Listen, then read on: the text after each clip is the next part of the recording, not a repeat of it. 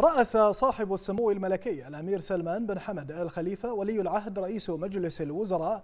الاجتماع الاعتيادي الأسبوعي لمجلس الوزراء الذي عقد اليوم في قصر القضيبية وفي بداية الاجتماع هنأ المجلس حضرة صاحب الجلالة الملك حمد بن عيسى الخليفة عاهل البلاد المفدى حفظه الله ورعاه وصاحب السمو الملكي ولي العهد رئيس مجلس الوزراء حفظه الله بالإنجاز الذي حققه نادي المحرق العريق بفوزه بكأس الاتحاد الآسيوي للمرة الثانية.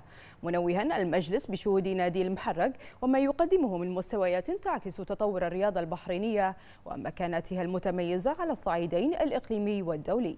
بعدها أكد مجلس الوزراء على أهمية مضامين الكلمة التي وجهها صاحب السمو الملكي ولي العهد رئيس مجلس الوزراء إلى المؤتمر السادس والعشرين للأطراف في اتفاقية الأمم الإطارية بشأن تغير المناخ كوب 26 والذي عقد في مدينة غلاسكو بالمملكة المتحدة.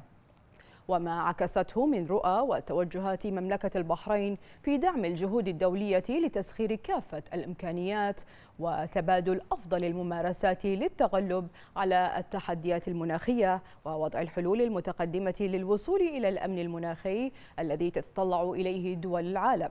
مجددا التأكيد على التزام مملكة البحرين بالوصول للحياد الكربوني بحلول 2060 والتزامات مملكة البحرين المعلن عنها لتقليل الانبعاثات والحد من التغير المناخي بحلول 2035 ودعم المملكة للمبادرات الدولية الرئيسية في مجال التغير المناخي.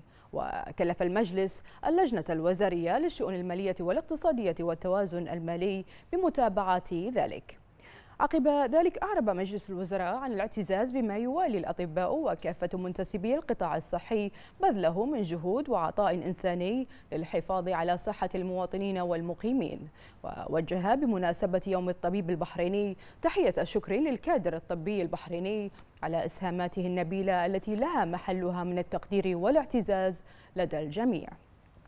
إلى ذلك فقد أكد مجلس الوزراء دعم مملكة البحرين لدولة الإمارات العربية المتحدة الشقيقة بطلبها في استضافة الدورة الثامنة والعشرين لمؤتمر تغير المناخ كوب 26 في أبو ظبي عام 2023 منوها بما تمتلكه الإمارات من قدرات في تنظيم الفعاليات الدولية وتوحيد الجهود للتصدي لمختلف التحديات.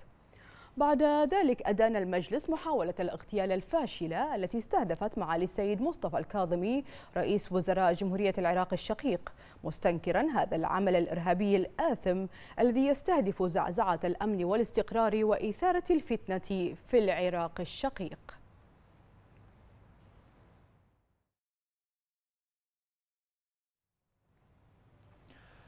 ثم نظر المجلس في الموضوعات المدرجة على جدول أعماله وقرر ما يلي. أولا الموافقة على المذكرات التالية. مذكرة اللجنة الوزارية للشؤون القانونية والتشريعية بخصوص مشروع قرار بشأن قواعد وأحكام توزيع قطع أراضي مشروع التخطيط أو إعادة التخطيط الذي يتم الاستملاك من أجله على مستحقي التعويض من ملاك العقارات الواقعة ضمن حدود هذه المشروعات.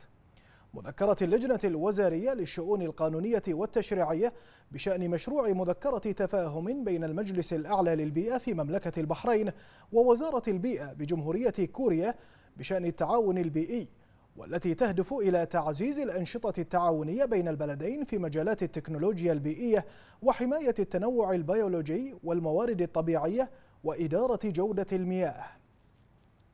مذكرة اللجنة الوزارية للشؤون القانونية والتشريعية بخصوص اشتراك هيئة البحرين للثقافة والآثار في مجلس الحرف العالمي والذي يهدف إلى الانتفاع من الدراسات والإحصائيات الخاصة بالحرف اليدوية والتي ستساهم في دعم الخطط والاستراتيجيات المتعلقة بهذا المجال.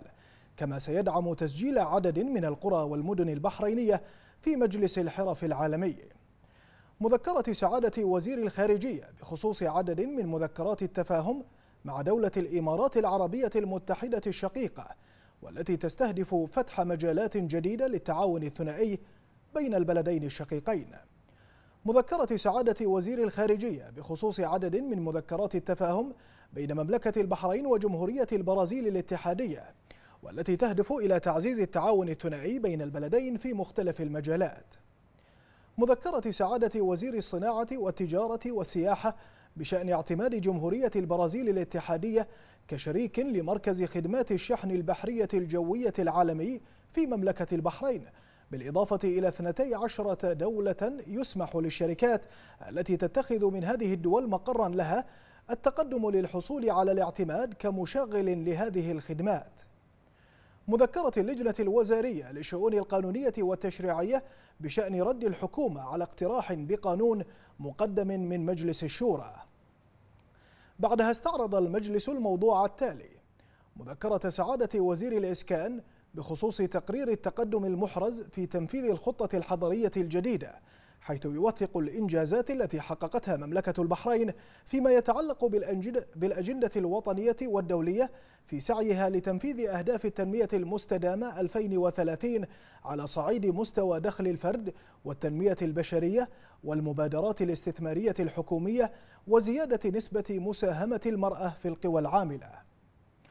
ثم أخذ المجلس علما من خلال التقارير الوزارية لأصحاب السعادة الوزراء بشأن المشاركة في معرض سوق السفر العالمي 2021 الذي أقيم في العاصمة البريطانية لندن واللقاءات مع المسؤولين عن قطاع التعليم في المملكة المتحدة.